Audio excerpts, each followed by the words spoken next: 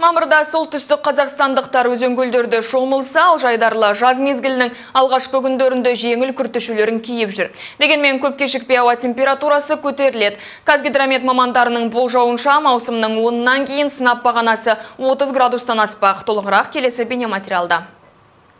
Көптен күткен жаз айының 5 күні де артта қалды. Бұл күндері ауа райы солтүстік қазақстандықтарды аса қуанта қоймады.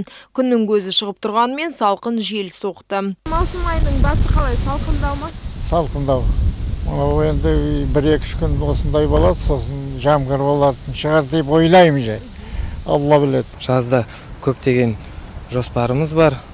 Мысалы, достармен, бала шағамен серуендеуге бір сапарға барып сияқты. Жаз келісімен тұрғындардың басым бөлігі бос уақыттарын табиғат аясында өткізуге асығатыны белгілі. Сол себепті барлығы ыстық күндерді тағатсыздана күтіп жүр. Осы орайда айта кетейік қазгидромет мамандарының болжауынша маусымның онына дейін түнде төрт тоғыз ал күндіз он сегіз жиырма үш градус жылы болады деп күтілуде. Ал маусымның екінші және үшінші он күндіктері қандай болмақ?